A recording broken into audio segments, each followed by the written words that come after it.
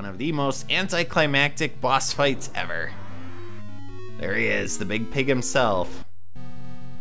So he is invisible, and he will shoot fireballs at you, and you need to basically slash around the room blindly. He'll home in on you. Eventually you'll hit him. and you have to hit him four times. And once you hit him the fourth time, then you can shoot him with your silver arrows. There he is. Arrow him. And that is the game. Triforce has been recovered.